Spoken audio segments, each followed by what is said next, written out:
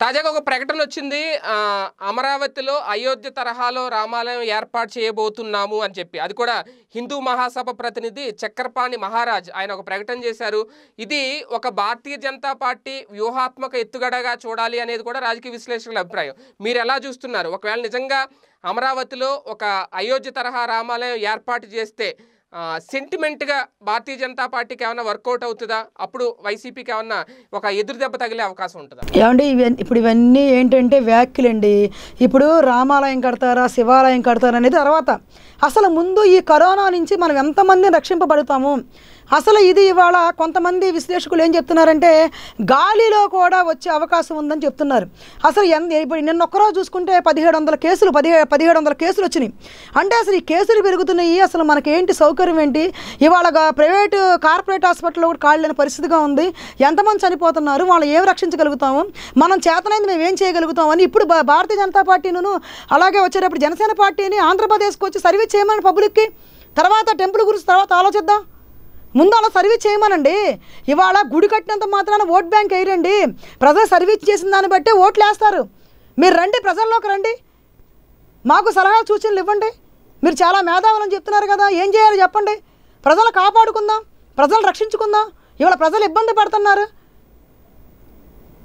కానీ మీ ముఖ్యమంత్రి గారు తీసుకున్న మూడు రాజధానుల నిర్ణయాన్ని ఇంకా అమరావతిలో అక్కడ ప్రజలు రైతులు వ్యతిరేకిస్తూనే ఉన్నారు. మొన్నే రెండు వందల రోజులు పూర్తయింది కూడా ఉద్యమం. మరి అటువంటి నేపథ్యంలో ఇది ఎటువంటి ఎత్తుగడగా చూడాలి? అది రైతులు ఉద్యమం అని నేను అనుకోవట్లేదు సార్. ఎందుకంటే రైతులు ఉద్యమం అయితే అలా ఉండదండి. రైతుల ఉద్యమం అయితే రాష్ట్ర వ్యాప్తంగా రెస్పాండ్ అవుతారు. అది చంద్రబాబు నాయుడు గారు సామాజిక వర్గము చంద్రబాబు నాయుడు గారు బినామీలు చంద్రబాబు నాయుడు గారు పే పే పేడ్ ఆర్టిస్టుల వరకే వాళ్ళు అక్కడ ఉద్యమం చేస్తున్నారు. ఇవాళ ఉద్యమం అంటే ఏంటండి? ఒకసారి మీరు చెప్పండి. ఇవాళ ఆ రోజు ప్రత్యేక తెలంగాణ కావాలని చెప్పేసి కేసీఆర్ గారు చేశారు చూసారండి. అది ఉద్యమం అంటే. ఇవాళ ఒక్క జిల్లా కృష్ణా గుంటూరు కూడా పెద్ద పెద్ద లేదు. కృష్ణాలో ఒక ఒక కృష్ణాలో కూడా అదైనా వాళ్ళ సామాజిక వర్గం వరకు చేస్తున్నారండి. ఎందుకంటే వాళ్ళ వాళ్ళందరూ ఇన్వెస్ట్ చేయడానికి కోసమే ఆయన అమరావతి చేశారు. అయినా కూడా మేము అమరావతిలో రాజధాని తీసేస్తున్నాం మేము ఎక్కడ చెప్పలేదండి. మేము రాష్ట్ర వ్యాప్తంగా మొత్తము కూడా అభివృద్ధి చేయాలన్న ఆలోచనలో మా జగన్మోహన్ రెడ్డి గారు ఉన్నారు తప్పనిచ్చి. మాకు ఒక అమరావతే కాదు ఇవాళ మనం హైదరాబాద్ ఎలా రాజధాని చేసి హైదరాబాద్ మనం అప్పచెప్పి ఎలా వచ్చామో రేపొద్దున మన కృష్ణ లేదా రాయలసీమ లేకపోతే అటు విజయ విజయనగరం శ్రీకాకుళం చేస్తే యువతోళ్ళు బాధపడుకోకుండా అన్ని జిల్లాలు కోస్తా ఆంధ్ర రాయలసీమ మొత్తము కూడా డెవలప్మెంట్ అయ్యే విధంగా జగన్మోహన్ రెడ్డి గారు ఫ్యూచరు. మన పిల్లలు మన పిల్లల పిల్లలకు కూడా లైఫ్ ఉండేటట్టుగా ఆలోచించి నిర్ణయం తీసుకున్నారు. కానీ ఆయన స్వార్థం కాదండి. లేకపోతే ఆయన సామాజిక వర్గం స్వార్థం కోసం కాదు. లేకపోతే వ్యక్తిగతంగా ఏమీ లేదు.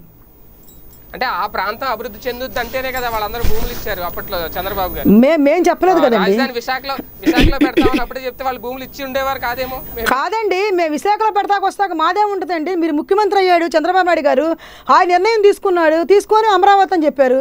కాసేపు ఎక్కడ దాకేందుకు ఇక్కడని చెప్పారు గన్నవరం దగ్గర. ఆ ఆగిరిపల్లి. పాపం ప్రజలు మొత్తం చాలామంది లేనోళ్ళు ఎకరాలు ఎకరాలు కొనుక్కొని వాళ్ళు సూసైడ్ చేసుకొని చనిపోయిన వాళ్ళు బోడి మంది ఉన్నారు. జనాల్ని మోసం చేసింది చంద్రబాబు నాయుడు గారు. జగన్మోహన్ రెడ్డి గారు కాదు. అక్కడ కాసేపు ఇక్కడ కాసేపు అని చెప్పేసి అక్కడక్కడ రియల్ ఎస్టేట్ వ్యాపారం చేశాడు ఆయన. అక్కడ కాసేపు ఇక్కడ కాసేపు. ఆఖరికి ఏంటంటే వాడు సామాజిక వర్గానికి మాత్రం ఇక్కడ కొనుక్కోమని చెప్పాడు. కథమ వాళ్ళు అక్కడ కొనుక్కోమని చెప్పి అక్కడ కొనుక్కున్న వాళ్ళు ఈ రోజుకి ఆరిపోయి ఉన్నారు. ఎకరం కోటి రూపాయలు కొనుక్కున్న వాళ్ళు ఇక్కడ పది లక్షలు పలుకుతుంది తొంభై లక్షలు ఇదైపోయింది. ఆయన సమాధానం చెప్పాలి ప్రజలకు మేం కాదు. ఈ వీడియో గనక మీకు నచ్చినట్లయితే లైక్ చేయండి షేర్ చేయండి. మరిన్ని వీడియోస్ కోసం మా ఛానల్ను సబ్స్క్రైబ్ చేయండి.